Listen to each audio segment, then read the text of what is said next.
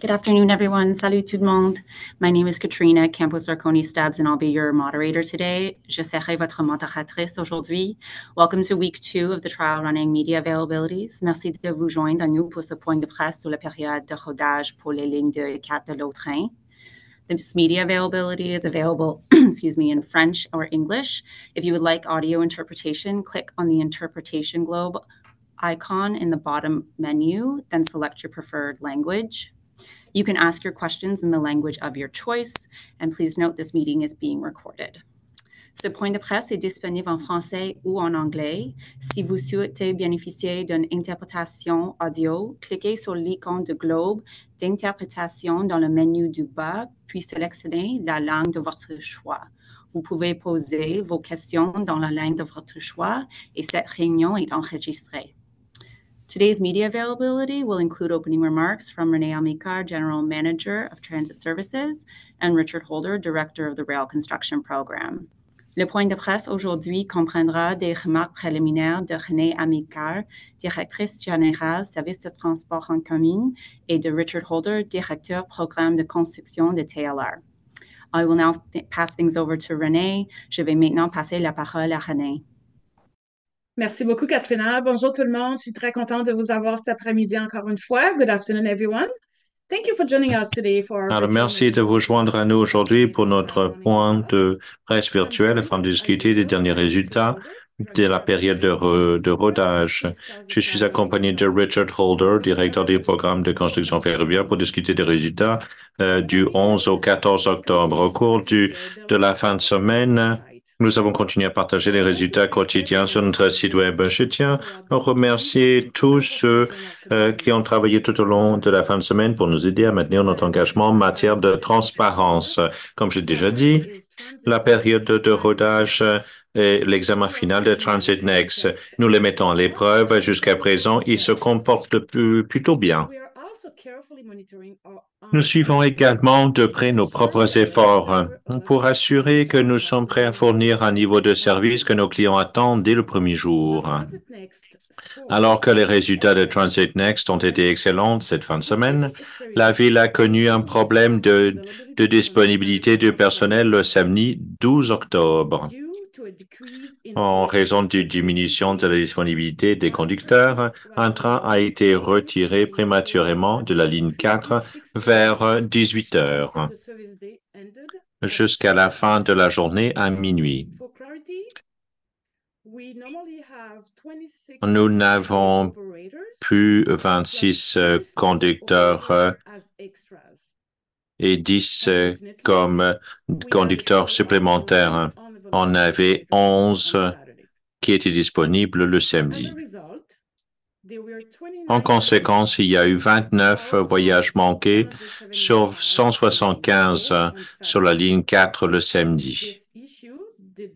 Ce problème n'a pas affecté la ligne 2 dans le cadre de nos efforts stratégiques pour maintenir le service sur la ligne principale.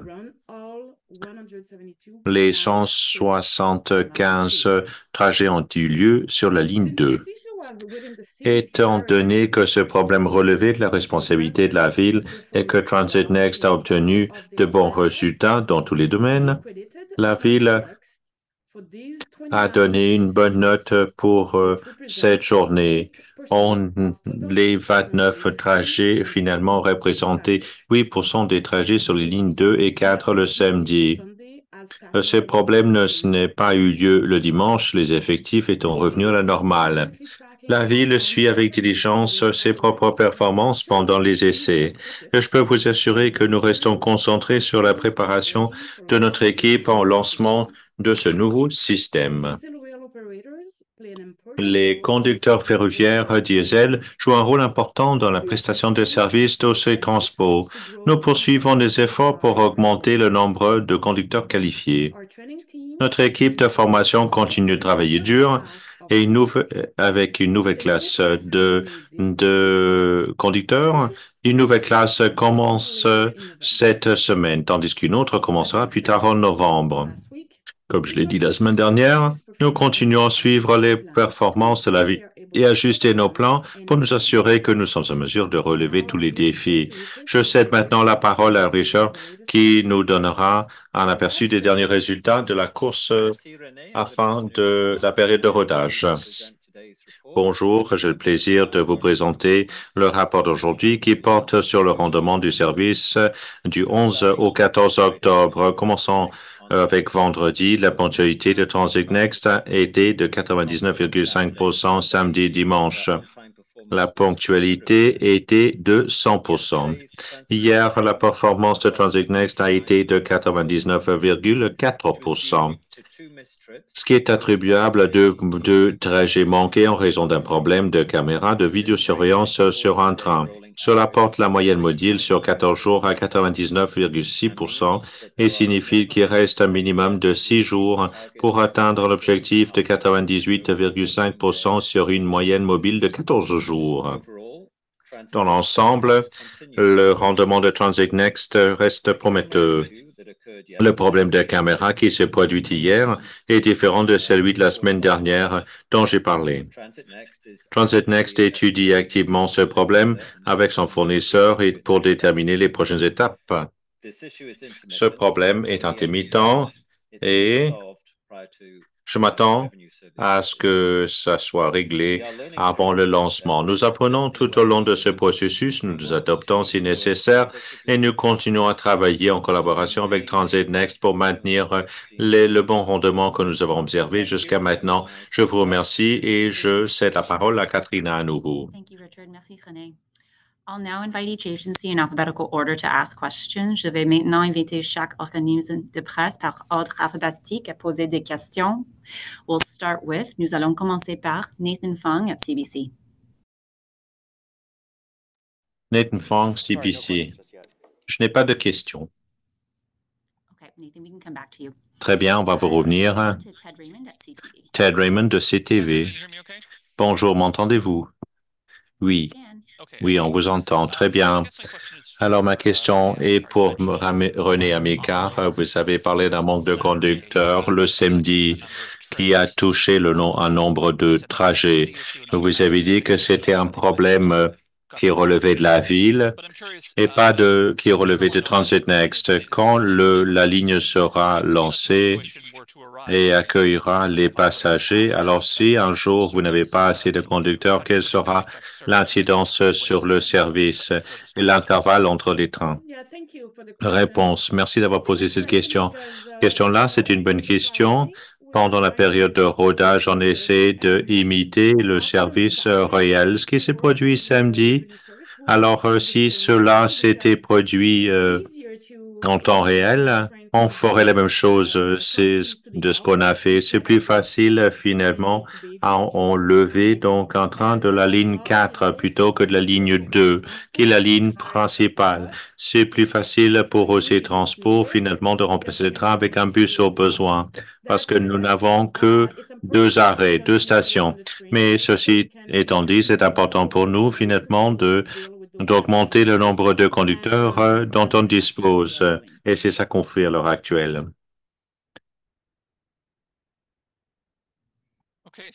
Um, Merci beaucoup. Question de suivi?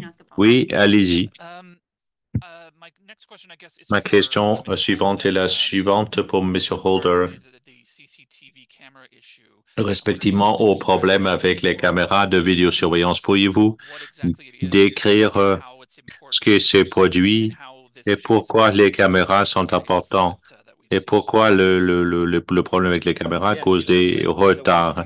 Certainement, on pourrait vous donner plus de détails sur euh, le problème avec les caméras hier sur le véhicule. C'est dit, le problème a surgi, euh, s'est produit à Bayview et à Limebank également et se produit quand le conducteur passait d'un bout du train à l'autre. Alors, vous savez, ils doivent quitter euh, quitter euh, finalement le comportement du conducteur pour passer à l'autre et pendant euh, le pendant ce processus, le système de vidéosurveillance ne se réinitialise pas. Donc, le conducteur doit redémarrer le véhicule. Ensuite réinitialiser le système de caméra. Ce n'est pas censé fonctionner de la sorte. Ce ça ne se produit pas pour chaque trajet. Ça ne se produit euh, finalement pour un seul trajet, mais nous travaillons avec Transit Next, avec Stadler, avec le fournisseur de caméras pour euh, recenser exactement le problème et pour voir ce qu'il faut réparer. Et on s'attend à recevoir euh, un logiciel pour rectifier le problème. Merci beaucoup. La vidéosurveillance, est-ce qu'elle surveille à l'extérieur ou à l'intérieur? Non, il s'agit, on a des caméras situées à l'extérieur et ces caméras pointent vers l'arrière du train, là où les, les passagers montent dans le train. C'est important pour le conducteur. en quittant un quai de s'assurer qu'il n'y ait pas de risque finalement de, de pincement de quelqu'un qui monte ou qui descend du train.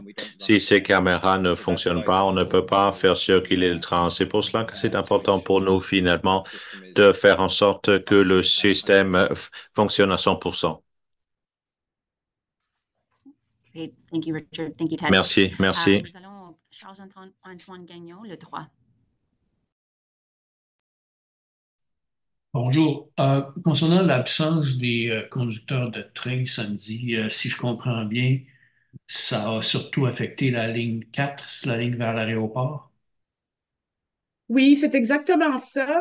Ça, c'est c'est une décision opérationnelle. Quand on manque un opérateur, on peut prendre la décision de soit retirer un train sur la ligne principale ou sur la ligne de l'aéroport. Si on était vraiment en service avec des, euh, euh, clients, c'est la ligne de l'aéroport qu'on aurait retirée. Donc, c'est exactement ce qu'on a fait pendant samedi parce qu'on est en train de faire vraiment une simulation comme si on était en service. Et l'impact euh, sur la clientèle est beaucoup moindre parce qu'il y a seulement deux arrêts. Et puis, c'est quelque chose aussi qui serait facile pour nous, là, euh, si jamais on avait besoin de, de mettre un autobus pour pouvoir donner le service, si, avait- si jamais on avait besoin. Et si je vous ai bien compris aussi, euh, vous continuez à former des, des conducteurs, c'est ça? Absolument, c'est ça. J'ai une classe qui a commencé déjà depuis plusieurs semaines. On a une autre classe qui va commencer cette semaine. Et puis, on a déjà prévu une autre classe pour le mois de novembre.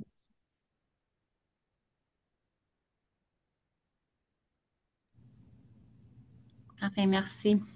Uh, we'll go on to Blair Crawford at Ottawa Citizen. Blair Crawford du Ottawa Citizen. Bonjour, euh, Madame Amilcar. euh, Ma question porte sur les conducteurs. Il y a dix conducteurs euh, en stand-by. Il y avait onze qui étaient en congé. Quand euh, ces nouvelles promotions auront euh, fait leur formation, est-ce que vous allez avoir accès à un bassin plus, plus élevé, plus élargi? Oui, ce qu'on essaie de faire, c'est d'établir un équilibre? Parce qu'un samedi, on a besoin de 106 conducteurs, euh, on 10 euh, extra pour, euh, pour euh, des congés euh, pour ceux qui sont absents. Alors, ce genre de situation. Alors, euh, on essaie d'établir un équilibre, vous savez, parce qu'on ne veut pas avoir de 20 euh, conducteurs euh, de, de trop, mais on ne veut pas réduire le service non plus. On essaie d'établir un équilibre entre les deux.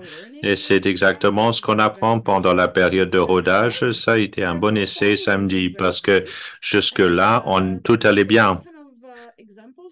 Alors, on a besoin de ce genre de problème pour pouvoir euh, savoir que même si on a 10 euh, conducteurs supplémentaires, ce n'est pas assez. Alors, comme j'ai dit, finalement, on doit euh, gérer les fonds des contribuables, donc on ne peut pas tout simplement dou- doubler le nombre de conducteurs. Deuxième question pour M. Holder. Je sais que que on peut euh, échouer finalement en départ euh, si on a un, départ, un départ euh, qui arrive 30 minutes en retard. Est-ce que vous pourriez me donner des statistiques sur le, le, le retard, les retards que vous avez observés? Hier, c'était un retard marginal, c'était dans quelques, quelques minutes finalement, même si le système n'a pas euh, ne s'est pas réinitialisé tout de suite. Le conducteur a contacté le centre de contrôle et le centre de contrôle et le conducteur ont réussi finalement à réinitialiser le système et ont pu partir euh, assez, rapidement après le, la période de 30 secondes. Est-ce que les passagers auraient remarqué ce départ en retard? Ce n'est pas une annulation. Alors, s'il s'agit finalement de quelques secondes ou quelques minutes, il est très peu probable que les passagers remarquent. Merci. Frédéric Pépin, Radio-Canada.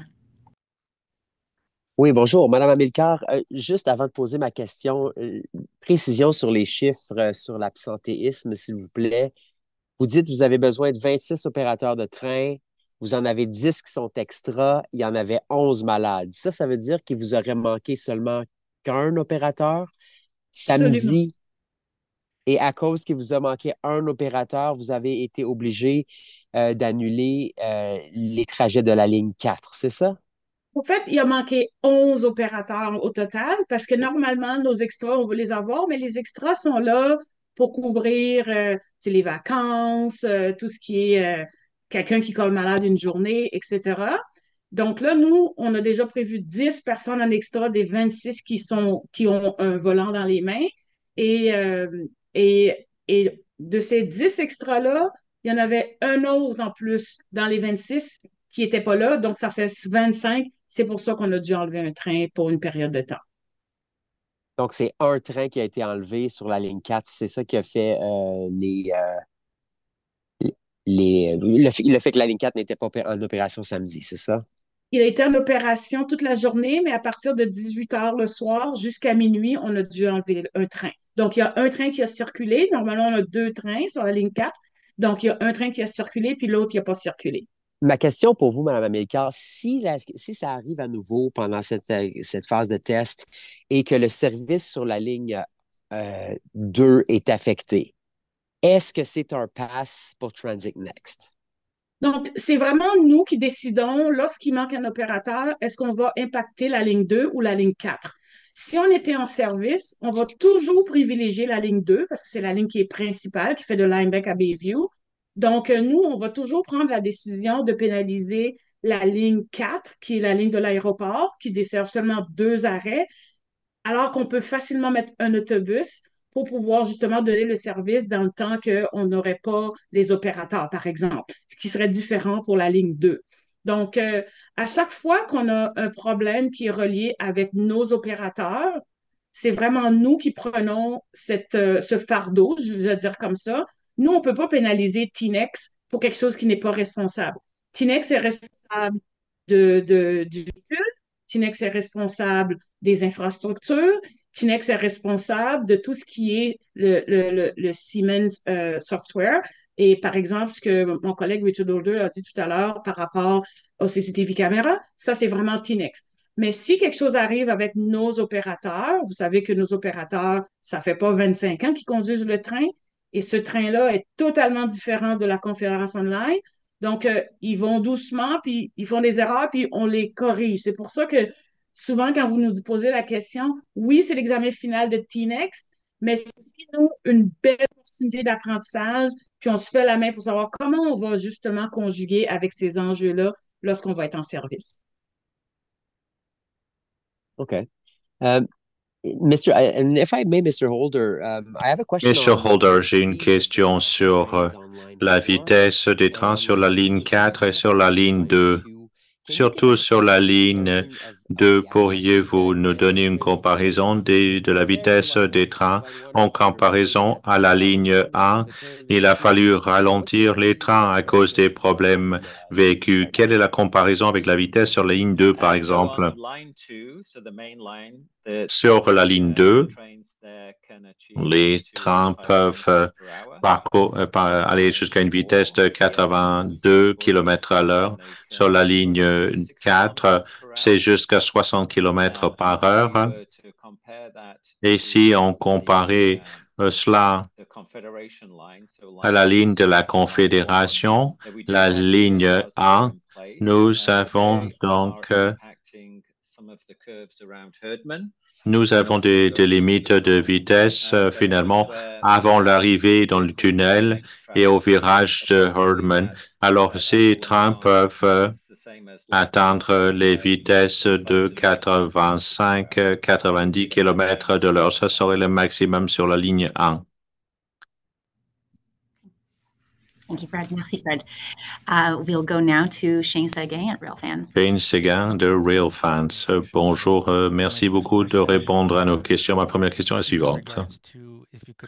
Elle, elle, porte sur ce qui suit. Pourriez-vous nous donner plus de détails sur les problèmes que vous avez vécus jusqu'à maintenant? Quels sont les problèmes qui touchent les trains, donc la carretère Lint et le, le, le, le Stettler? Merci de poser cette question. Pour rentrer dans tous les détails, on a fait état du fait que, que les départs en retard ont lieu à cause des problèmes avec le système de vidéosurveillance. J'ai également parlé du problème qui a eu lieu sur le véhicule C10. Ça semble être seulement un problème au terminus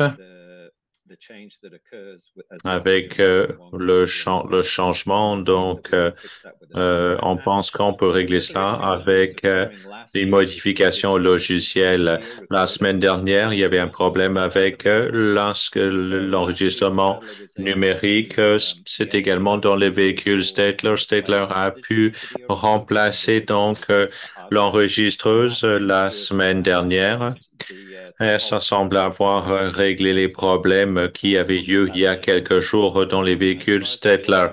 Alors, à ma connaissance, les Korea Lint euh, ont un bon rendement. On n'a pas vu les mêmes problèmes euh, de caméra. Merci beaucoup. Ma dernière question est la suivante. Le service qui a été effectué hier, si je ne me trompe pas, on a annoncé qu'on aurait un service euh, finalement selon l'horaire de dimanche. Les départs à Bayview finalement finalement avaient un retard de 4 ou 5 minutes par rapport à l'horaire annoncé. Est-ce que, y a, est-ce que ça avait à voir avec le problème vécu dans les trains? Je peux confirmer que que le lundi, hier, le service était un service selon l'horaire de dimanche. Pour ce qui est du nombre de parcours un dimanche, un total de 317, un samedi, on a 347 et pour un, du lundi au vendredi, 359 trajets. Alors l'intervalle reste pareil. C'est que que la réduction du nombre de trains en fin et en début de journée est euh, différente le dimanche. On a plus de temps pour qu'on puisse faire les activités d'entretien. Merci beaucoup. Thank you, Shane. And then I'll just circle back to Nathan Fung at CBC. Nathan Fung, CBC. Uh, thanks. I think I'm just wondering if, um, the, regarding the issue of operators with VATS. Pour ce qui est de la question des conducteurs, est-ce que ça est-ce que ça sera problématique pour les journées qui restent de la période de rodage? Merci d'avoir posé la question. J'espère que non, mais on ne sait jamais. Le problème a été réglé immédiatement. Le lendemain, on surveille la situation et on va continuer à travailler avec nos employés pour qu'il n'y ait pas d'absent. Aussi, Transport travaille également, augmenter le nombre de conducteurs également. Nous avons une classe et qui a commencé il y a quelques semaines. Il y en aura une autre cette semaine et on prévoit une autre à la mi-novembre également. Great, thanks. Merci beaucoup. Merci. J'aimerais poser une dernière question. Alors, euh, j'aimerais qu'on m'explique la question des conducteurs. Euh, 10 euh, conducteurs qui étaient absents samedi, c'est ça? 11. On a 11 besoin, oui, on a besoin de 26 pour conduire les trains. sur les deux lignes? Oui. OK. Et puis, on a 10 qui sont en extra pour couvrir toutes sortes d'absences. Puis là, on- malheureusement, samedi, 11 n'étaient pas là. Donc, ça veut les- dire qu'il nous a Les manqué 10 un sont, les 10 sont, sont rentrés travailler, c'est ça? Les 10 extras ne se sont pas présentés au travail pour plein de sortes de raisons, plus quelqu'un qui était cédulé dans son horaire, dans les 26. Donc, ça veut dire que moi, j'ai besoin de 26 personnes pour conduire les trains, j'en avais seulement 25. Donc, 11 personnes ont appelé, euh, 11 personnes n'étaient pas euh, disponibles, alors que j'ai besoin de 26 personnes, j'en avais seulement 25. OK, je, je pensais, OK, là, je comprends mieux. là. Je pensais qu'il y avait 11 personnes qui étaient vraiment parmi les 26 qui ne s'étaient pas présentées. Non, non, c'est ça, c'est que c'est 26 pour conduire le train, plus 10 qui sont comme en stand-by, on va dire ça comme ça. OK? Normalement, là, tous les jours, nous, on a besoin de 36 personnes. 26 vont conduire le train le samedi, puis 10 vont être euh, en attente. Et là, 11 ont appelé malade, donc ça fait en sorte que mes 10 que j'avais déjà prévus pour, faire en sorte que je puisse conjuguer avec des, des imprévus, ben, ils ne se sont pas pointés, plus un autre. Donc, c'est pour ça qu'on a été obligé de réduire un train de 6 heures à minuit. OK. Parfait, merci. Thank you, everyone. This concludes our media availability today. Ceci conclut le point de presse aujourd'hui. Thank you.